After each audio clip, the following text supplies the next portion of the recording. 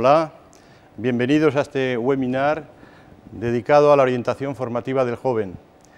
Mi nombre es Teófilo Solana, actualmente colaboro con la Universidad de Valladolid como profesor honorífico y hasta hace poco era el responsable de formación y selección para Michelin España y Portugal.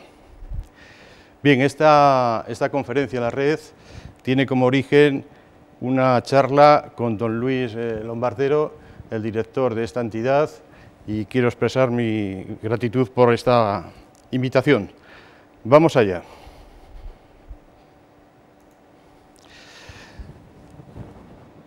En mi opinión, cada vez que demos una charla deberíamos de decir qué buscamos con ella, una conferencia, una charla, una presentación. En este caso, he marcado dos objetivos. El objetivo pedagógico, al final de la sesión, y expresado así de esta manera, al final de la sesión los asistentes serían capaces, o deberían ser capaces, de citar los principales factores a considerar para la elección razonada de la orientación formativa de un joven y el orden lógico de las acciones a realizar. Ese es el objetivo principal de esta conferencia. Un poco más de ambición en el objetivo de impacto sería que a término, cuando cualquiera de los asistentes a esta conferencia aplicasen el asunto sobre ellos mismos o ejerciendo de tutor sobre algún joven, se apoyasen en soportes lógicos. No lo hicieran solamente hablando o razonando, sino intentasen escribir, como veremos más adelante, y razonar de manera fría la decisión y acertar. El tiempo para esta presentación nos va a llevar unos 35 minutos.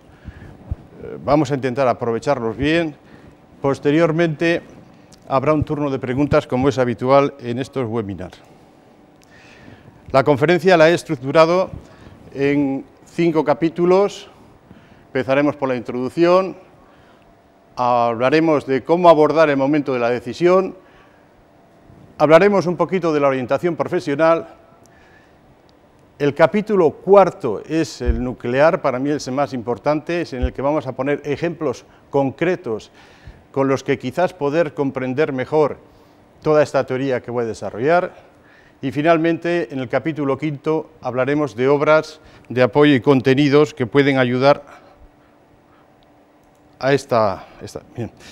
Capítulo 1, introducción. Pues vamos allá. Esto de la orientación formativa de un chico entre los 16 y 18 años es difícil, es muy complicado, entre otras cosas porque se hace a una muy temprana edad. Sin embargo, todos los chicos lo hacen.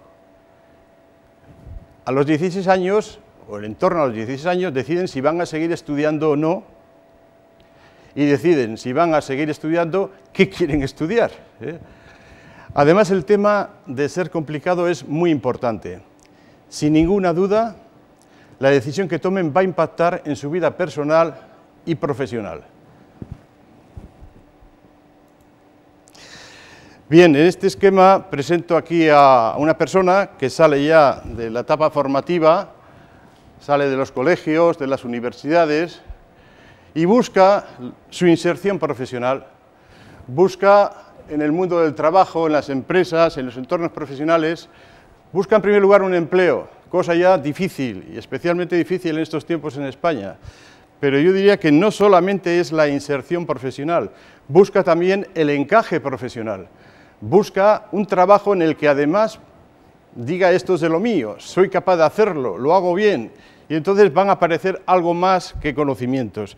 Porque veis que esa silueta que he marcado ahí de, de una persona porta una maleta y esa maleta va llena de conocimientos. Es lo que principalmente han adquirido durante su etapa formativa, un montón de conocimientos, es lo principal. En algunos casos algo más, pero en la mayoría de conocimientos. Esta persona la he pintado ahí con alguna cosita arriba que dice que esta persona tiene su manera de pensar, su manera de actuar y su manera de sentir como la tenemos los 7.000 millones de seres humanos que estamos en este planeta. Y es lo que hace a cada persona única e irrepetible. Y es lo que va a tener correlación, que es a lo que voy, con su perfil de competencias personales. y el perfil de competencias personales es el que importará y mucho en el mayor o menor encaje profesional que se logre. Hablando de encaje profesional, vamos a situar algunos momentos importantes de nuestra vida. Bien, en este esquema veis que hay una escala de tiempo arriba, va desde el nacimiento hasta más allá de los 80, hasta los 15, 16 años está la enseñanza de base, la formación primaria, secundaria, el bachillerato.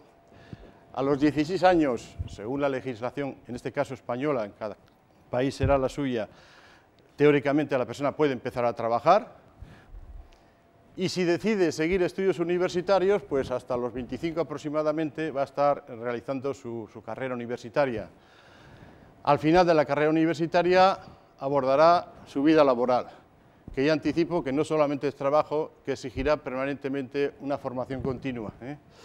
La formación inicial es el conjunto de toda la formación antes de la universidad, más la de la universidad. Bien, cuando terminada su etapa formativa encaran el mundo laboral, les empiezan a hablar de muchas cosas, oyen hablar de muchas cosas. Hay alguna que les suena bastante, conocimientos, de eso saben bastante. Pero les empiezan a hablar de competencias, algunos saben de qué va, muchos no. Les empiezan a hablar de nichos profesionales, de condiciones laborales, de disponibilidad geográfica, de entornos profesionales. En definitiva, un mundo complejo, complejo para el joven que acaba de terminar sus estudios, en este caso universitarios. ¿eh? ¿Cómo, ¿Cómo, se afronta todo esto o qué concurre para salir mejor o peor de todo esto? Pues algo que ocurre aquí, entre los 16 y 18 años, en un espacio de tiempo muy cortito, la persona, todos los jóvenes deciden si sigo o no sigo estudiando y si sigo estudiando, ¿qué hago? ¿Qué estudiar sería la palabra? ¿eh?